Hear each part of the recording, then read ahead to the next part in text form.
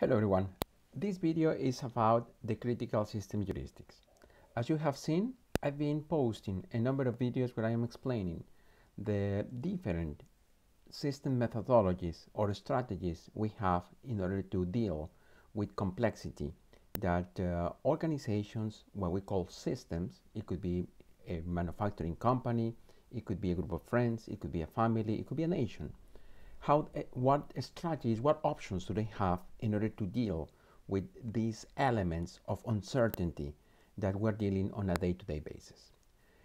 The situation we're having at the moment, I already mentioned this one, is an extreme case of what the environment can produce for the context of an organization. Complexity is better explained in terms of this pandemic we are facing at the moment. There is a number of elements that we were not aware of. We didn't know about it. Uh, we were caught uh, out of um, context, if you want. Although uh, we know that things like this can appear from time to time, it was not expected. And it has hit not only a, a specific region of the world, but the world all over. And this is something that is different. Of course, there are many elements associated with the health situation. There is an economic problem coming uh, next or alongside, and there are many other elements associated with the social the political, economic, and the health problem we're facing. So this is an extreme way, uh, an extreme form of what complexity uh, could produce for the day-to-day -day operation of a system. A system that can be, again, a country all the way to a family. As a family, I'm pretty sure all of you have seen the consequences of this pandemic at the nationwide level, we're seeing the consequences, and at the global level, we're also seeing the consequences of things like this. So this is an extreme form of complexity, and therefore we need to deal with that complexity in different ways. What we've been doing over the course of this model is to show you a few strategies in order to cope with those elements of or those situations where we have increased levels of complexity.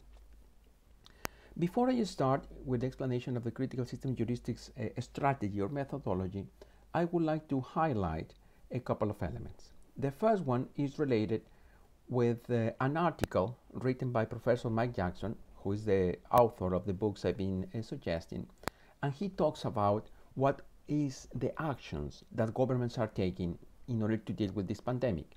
I'm pretty sure you are fed up with the pandemic uh, problems and everything about this coronavirus uh, uh, thing, but um, this is a good way to explain a situation we're currently in. In the voice of Professor Jackson, I will save um, this uh, Professor Jackson contribution. I will upload it on Canvas. Uh, he says that we were facing an uncertainty situation. Uh, we had a virus, uh, there were people dying, the problem was increasing, we were not uh, fully aware about the consequences, uh, how the virus was spreading, why it was so lethal, or we were not necessarily sure about the lethality of the virus. And so many things we didn't uh, knew at the time. We didn't know uh, about the, the, virus itself. So the decision by the government was to reduce the level of complexity.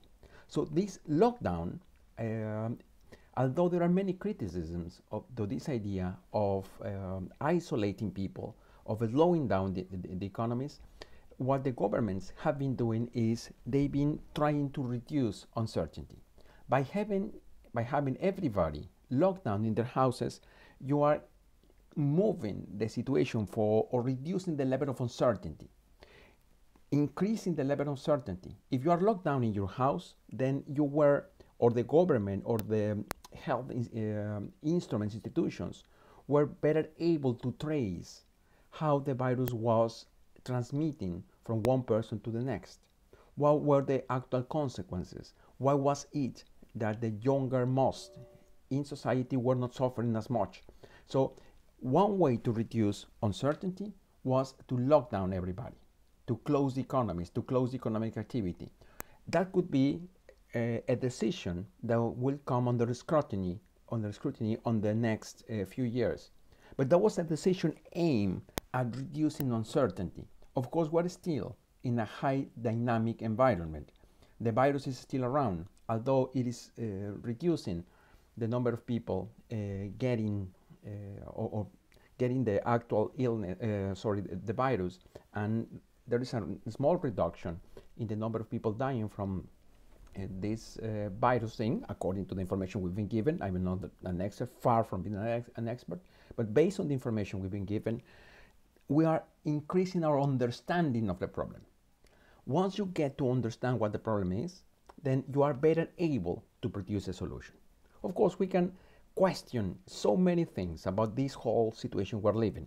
I understand there are people questioning everything, absolutely everything, from the actual existence of the pandemic. I understand that. But based on the information we have, one way to deal with a problem of uncertainty is trying to move the problem either on this dimension upwards in order to reduce uncertainty and face a dynamic problem, or either moving a problem from a coercive situation to a pluralistic one. Remember, under a coercive situation, people are exercising power because they have because they detain the power because they are legitimately access to uh, have access to power, and they and in order to deal with a situation here, then you need to start identifying who is exactly exercising power, what are the interests they serve, and in a sense that help us to move the problem in this dimension. So this article by Professor Jackson says the way, the systemic way this pandemic has been dealt with is by the effect of isolation. We are increasing our understanding by moving an uncertainty problem to a dynamic one. Isolation has allowed the authorities to understand the, the, the, problem because now we don't have the problem of contagion going around without any clear pattern. So again, you can question anything about this pandemic thing, but this is just to give you an idea or an example of what it means to reduce the level of complexity based on what we've been uh, reviewing. Going back to this matrix that we've been reviewing several times, I already mentioned critical system heuristics is a methodology and a strategy that according to Professor Jackson uh, as well, um, is a good way to deal with a situation where there is power being, uh, being used, power in use by somebody, and that somebody has to be identified in order to try to understand what is the source of a problem. So this methodology, this is a, as usual, a quick presentation that you will have available on Canvas, um, comes from the work of two people, uh, C. West Churchman and uh, Werner Ulrich. Uh, C. West Churchman, an American um, system philosopher, and um, Werner Ulrich, a Swiss um, social scientist, and uh, this is their, their, their, work. According to Churchman, um, to be a system thinker, to be a systems person, means when you put yourself in the in the shoes of others when you see the world through the eyes of another person, when you try to understand their point of view, that is the essence of being systemic. Remember, one of the problems we have is that all of us have a restrict view of everything that we are able to grasp, that we're able to understand. Basically, because we have cognitive limitations. And second, because everything that we interpret, that we see, the world as we see it, it is understood through our own uh, values, our own history, our own experiences. So we have partial view of the things that occur out there. I've been trying to understand of this uh, situation we're living, and it's quite interesting with the internet these days that you get lots of interpretation of what is going on from people saying this is a health crisis, uh, and they give you an explanation, a biological explanation of how the virus spreads. And then you can go to the other extreme when you have all these conspiracy theories of people saying, well, this is This is just uh, an hoax. This is just a lie, a big lie, in order to, and you have every sort of explanations. Uh, I'm, I'm pretty sure you have seen all these different ideas. I'm not criticizing any of them, none the biological explanation, neither the conspiracy theories, right? But people who explain the problem we are facing from both extremes, let me call it, they do so because they are convinced the problem started or the problem origin is related with either a biological cause or with the obscure reason uh, associated with the power structures in the world. So each of those two visions and many other visions in between are based on people's understanding of the world. What is really going on? We need to learn from all those different visions, from all those different perspectives. And that's what being systemic means. You shouldn't be discarding any of these different views. If somebody has a view about this is a conspiracy uh, theory aimed at whatever uh, they, they explain, that's the reason from this pandemic, the best thing that you can do is try to understand what are the reasons that it got. Try to think in terms of the SAST methodology. What is the evidence that you got? How certain is that evidence?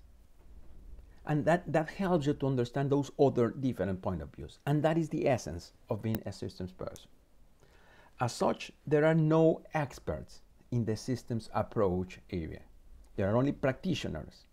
And uh, that's why the um, idea from uh, Churchman, C. West Churchman, uh, comes from the uh, fact that all these methodologies, all these strategies have a partial a benefit from practitioners you can take, you can pick and mix from all these different ideas. The essence of the methodology is very simple. It is a process of scrutiny, of asking, of going deeper of what are the purposes of the, in the design and the implementation of a program. If you recall, during I think it was the third of the tutorials, I asked you, we asked you to analyze all these programs aim at ameliorating and reducing the effects of poverty. You probably remember this presentation, and uh, I, we talk about the work of Dambisa Moyo.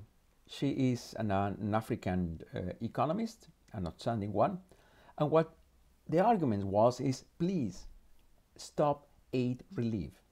Aid is not helping. Aid is only helping corrupt officials to remain in power do you think providing aid, aid helps underdeveloped African nations or nations in different parts of the world? That is not the case. Stop aid. That is a particular view. That's Dambisa Moyo's idea of what aid is. You and me, mainly you, went through a process of analyzing um, these um, aid programs and uh, we used the SAST methodology. Well, this process, critical system heuristics, can also be applied uh, in order to question ourselves what is the actual aim, the actual benefit, who is actually benefiting from all these aid programs. And that's what these critical system heuristics aim to uncover. Remember, we have a situation where power is being exercised. So we want to identify what are the sources of power who's benefiting from the current sort of structure. The status quo is benefiting who? And that's what we want to question. That's what we want to challenge. That's why it is called critical, because we want to scrutinize who's benefiting, who's been imposing power, who's been affected, and who participates. That is very simple. Everyone who is affected or could potentially be affected by a program, by a decision, should be part of the design process. Wes Churchman and Werner Ulrich uh, contend the um, process is aimed at imposing or at uh, having this critical idea where we want to question, where we want to challenge all the assumptions made while designing and implementing a program. One of the uh, issues we face is, as we've been discussing uh, during the most of our module, we ultimately say, or I've been saying, we always have the system uh, for which we are designing programs, identifying um, improvement uh, actions, and uh, the system interacts with environment. And the environment produces actions and effects uh, that alter how the system performs. But likewise, in the organization, in the system, we have the chance to alter the environment. And probably the best example I can give you is the current situation we have in terms of the oil market. If you have been listening to the news, probably you uh, found that the price of oil has collapsed. And it has collapsed for many different reasons. There is a clear reduction in demand. The whole world is in lockdown. There is a reduction in the consumption of petrol, and therefore there is a reduction in the demand for oil. Prices go down. But systems, countries, have been doing specific actions. There seems to be, there is an, a war, if you want, um, or a not coordinating action between different oil producing nations. So initially there was a disagreement between Russia and um, Saudi Arabia, and they made a decision to pump more oil into the market.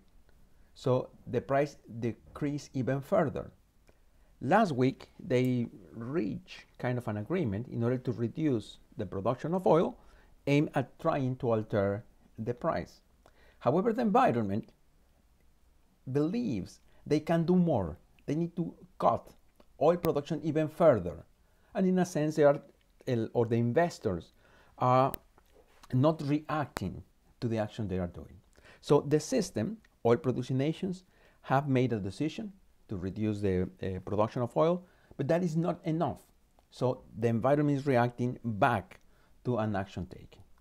Probably I'm trying to anticipate, these oil producing nations will need to cut even further the production of oil so that they can stimulate the, the price back again. So, uh, well, just to close the, this thing about the oil thing, don't worry too much. If you have investment in oil companies or if you are the owner of a big oil company, prices will go up next month, but not as high as they would like it to be. Probably will be around the $20 a barrel. But that, of course, is a different thing.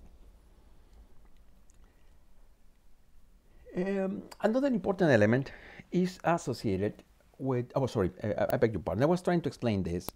And one of the limitations we have is in the way we determine where the environment starts is a matter of judgment. As a company, where do you define where the environment starts? When you have a company, is environment all the actions that are outside the boundaries of the organization? Where the boundaries of organization are drawn? Is it the boundaries of the premises? I'm pretty sure that is not the boundaries of the premises. As an organization, you have a number of customers, a number of suppliers.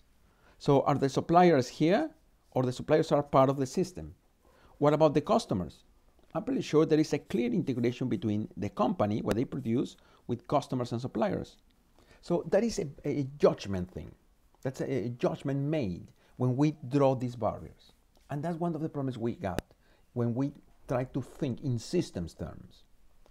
The other important element is that um, this concept of what, what uh, Ulrich called the boundary critique. That is, most our decisions, our views, have what he calls partiality. Whatever your decisions are, whatever elements you take into consideration, those are bound by our limitations to get into account all those elements that exist out there. That partiality, and that's associated with this idea of a boundary critique. According to Mingers, um, John Mingers, what it takes to be critical basically the idea, and I try to highlight a, a few elements, is to evaluate the validity and the strength of the arguments. When we have different ideas, right, what I want is I want to challenge your ideas, not because I'm a, a bad person or because I'm opposing you. I am critical because I want to be sure that what your position is makes sense to you and to me. So the best thing I can do is to ask about the validity of your arguments. That is to be critical. So when somebody has a different position to yours, the best thing you can do is to ask, how certain are you? What is the validity? What is the support? Is that support a solid one? So when you face all these different explanations of what this coronavirus crisis is, ask for the validity, ask for the arguments, ask for the evidence. That is to be critical. So that is, as explained by Mingers, going beyond the face value assumptions. All those elements, all these different positions about a particular course of action are based on a number of assumptions. So questioning, asking about the support, the validity, the elements that support a particular point of view, that is what is important of being critical. So every time you're given a position with all the respect, because this is something not everybody accepts, with all respect you can explain to somebody, well, I am a system thinker. And as such, I'd like to ask for the support, for the validity of your arguments. I'm not acting or going against what you say. All I want to know is I want to be sure that what you are saying is something important so that I can act upon something I didn't know before. This idea of boundary critique, again, is associated with the actual effect of our actions. Um, what we decide has important implications beyond the reach of what we tend to believe are the boundaries of our actions.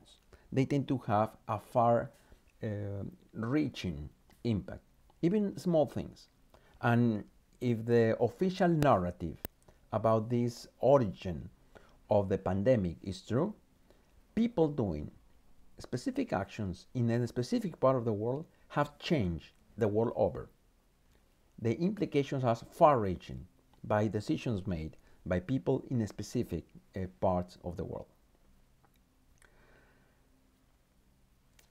Remember, we want to reflect upon specific elements about how we design a system. What are the aims? What are the purposes? What are the interests that being served through the design of a system? How decisions are made? Who made those decisions? What motivations exist for people to make a decision? If you want to be critical in the sense of a systemic uh, point of view of all the decisions being made at the moment is who are making the decision who benefits? Are there any beneficiaries from this lockdown? Well, if there are, probably that's something you need to keep in mind. Is it the case that the main beneficiary of the lockdown is all of us, all the citizens of the world, who are having the chance to isolate without being or without being exposed to the problems of uh, contracting a, the virus? If that is the case, fair enough. There are some people saying there are companies benefiting. There are powerful interests being served. Well, if that is the position, right, then those are the questions we need to ask ourselves. And of course, who are or, or what are the consequences of the current system in place? Remember, we want to take into consideration the point of view of those involved that have to be all those who are affected by the decisions. When you have only a small minority of people making decisions, then this is something that brings a few questions coming to the fore. Is it the best way? Of course. Under the problem we're facing at the moment, the government is there to make decisions, right? They were elected, at least in the case of the UK, and as uh, citizens of the UK, we made the decision you guys were going to be in charge of running the government and were given powers to the government. In a, in a company, in an organization, who's calling the shots? What are the benefits they are seeing? What are the consequences of the actions taken? And under this critical system heuristics, idea is very simple. All those affected by our policy should be involved in the decision process and also in the design process of the actions we are taking. We like to compare under critical system heuristics between the system as it is and the system as it ought to be. What is the system like today and what the system should be like, ought to be? We want to compare between the two. And in order to do so, we want to contrast those positions between those involved and those affected. Those affected should be part of the ought to be, because that will help us to avoid a problem of somebody imposing their own vision, using power to impose what they want. So, the methodology, the process consists in 12 specific questions. Questions that try to compare between the world as it is and the world what it ought to be. So the questions are in terms of four areas. About the client, that is the motivations. Who are the beneficiaries? Who will get a benefit from the current system as it is? Who ought to be?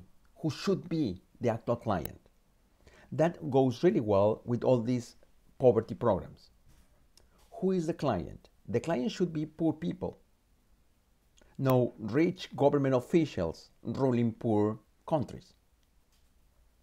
That is a comparison between what it, the system is, according to the vision of certain economists, like Dambisa Moyo I referred before, and what the actual beneficiary of those uh, programs should be. Who's making decisions? When we design all these uh, anti-poverty programs, clearly the poor, the poor people, they are not being part of the decision process. That's why uh, some critics, critics of, of these programs call the white man burden. There are rich people sitting in beautiful offices in New York or in Washington or in London or in Geneva designing anti-poverty programs for poor people in the developing world. The poor are not part of the design process. Who are the experts?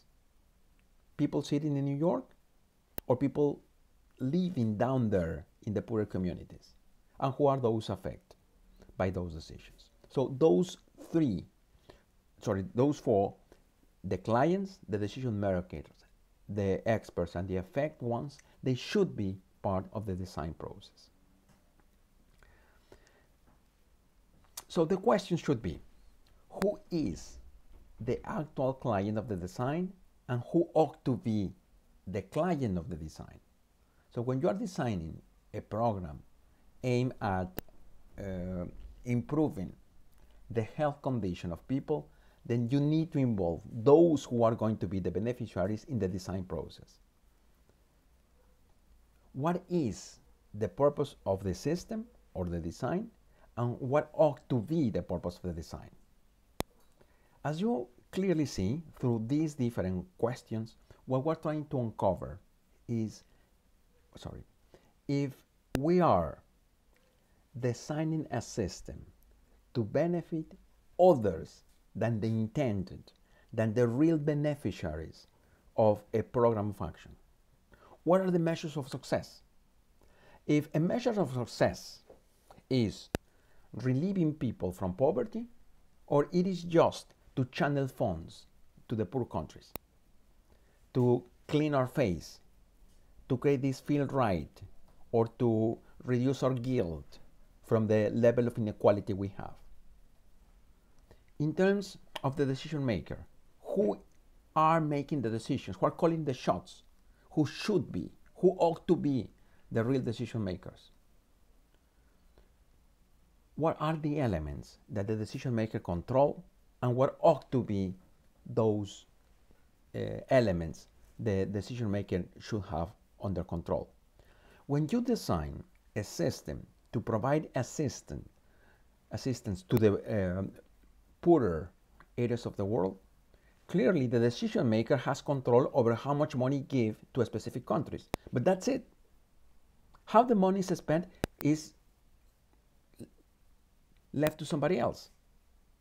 That's why, in so many cases, all this money intended, well intended, or given with the best intention to relieve people from poverty end up being uh, money used by powerful interests, by people in power to perpetuate their benefits.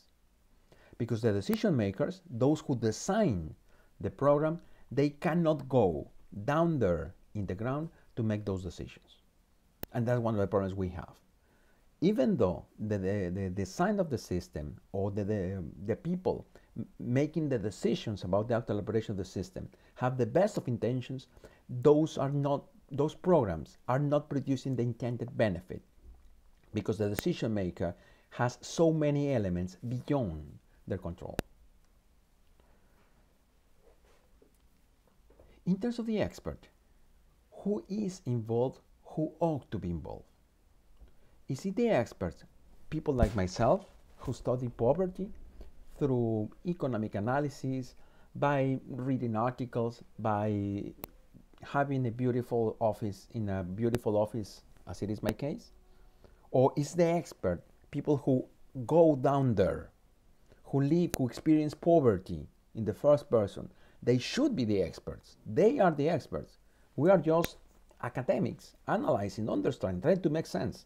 But we're not the experts. The experts are people who go down there to the ground, who experience poverty firsthand.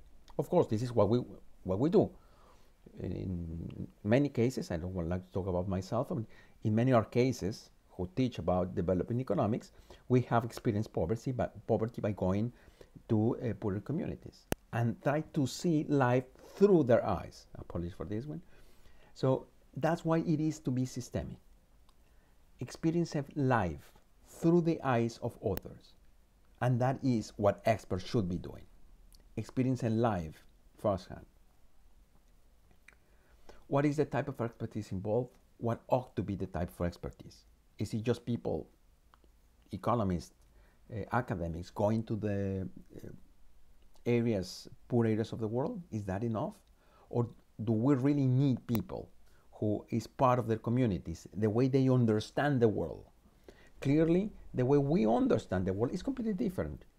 Our ideas of what development is is completely different for people like you and me, probably development means having an easier life, to have uh, many things that we need in order to make our life easier.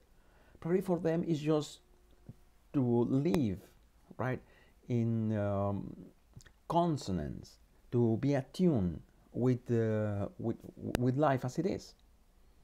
Our concept of development might be different. That's why if you want to design a development program, that's why you need to get all those different visions into the design process.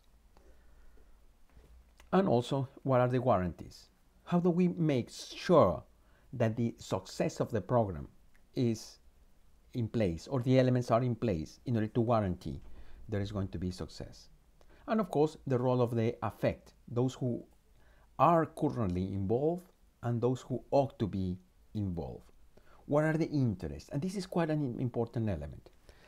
Remember, what I've been saying here is we have people exercising power, and that power structure increases the level of complexity we're facing. It doesn't mean we're breaking down the power structure. It might require a full revolution. But at least if you manage to understand who are those calling the shots, those currently uh, defining the measures of performance, those controlling access to resources, those defining the objectives for a program, at least you understand what the power structure is. You might not be able to convince people to give power away and sit with people having different visions and start a dialogue. In some cases, this power structure means powerful guerrilla groups, people with arms. They are not to give up their arms. But if you want to solve the problem, that would be the only solution. But at least if you understand why or where are these powerful groups coming from, what are the motivations, at least you increase your level of understanding. It doesn't mean you could solve a solution. As I've been saying time and time again, guys, and this is what I want you to remember. When we are not sure what the problem is, it will be very hard to provide a solution. All these strategies we've been covering over the course of this model are aimed at increasing our level of understanding. By asking these questions, we're trying to understand what is this power structure. We might not be able to move the power structure as a, um, a few inches where the, the, the power structure is.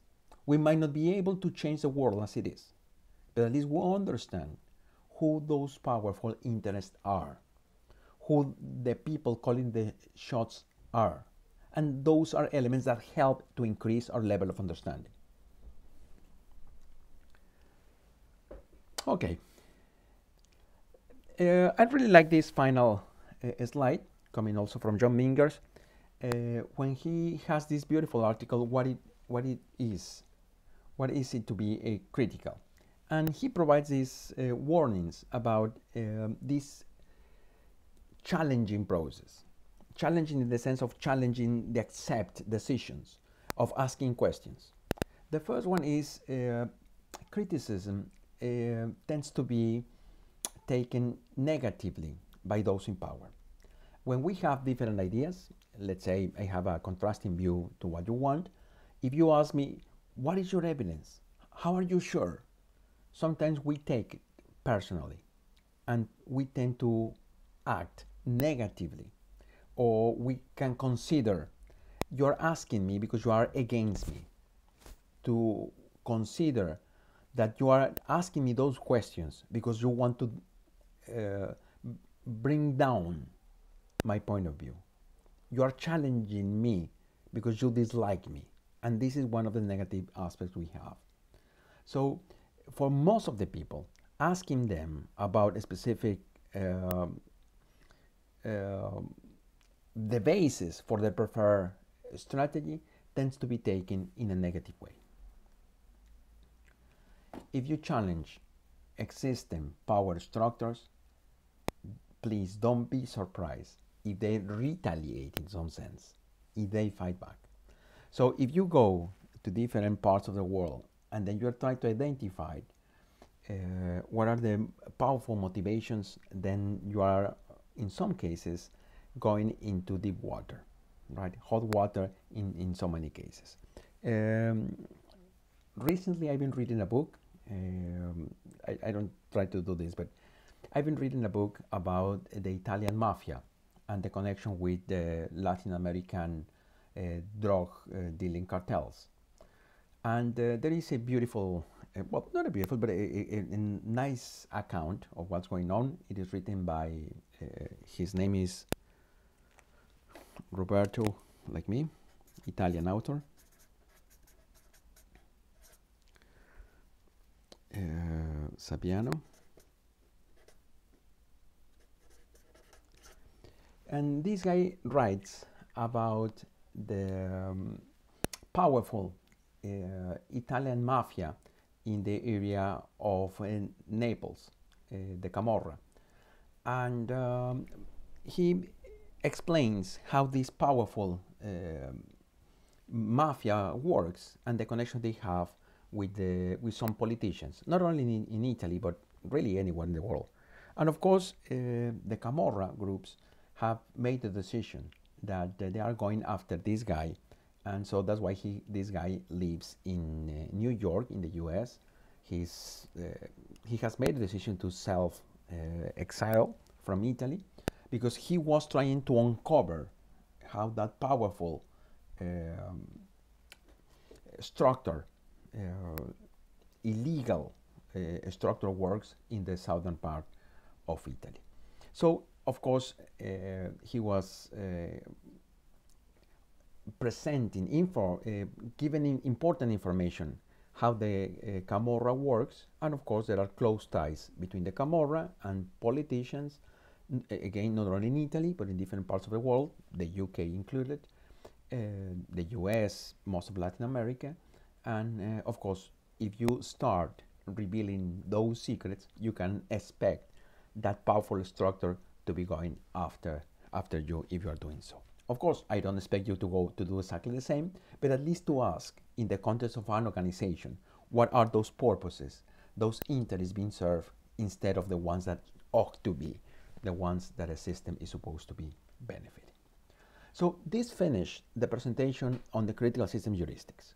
Now, the tutorial uh, you have to do, I will explain it in, a, in another video, it will be relatively simple in the sense of I want you to take the case of an organization. It could be, I choose a few ones. Uh, as you know, I am an economist. So I uh, present this as an example. I want you to consider, to think about the International Monetary Fund. Uh, some of you might not like the, this idea very much, but I want you to ask, what are the intended benefits or the main um, benefit of the IMF?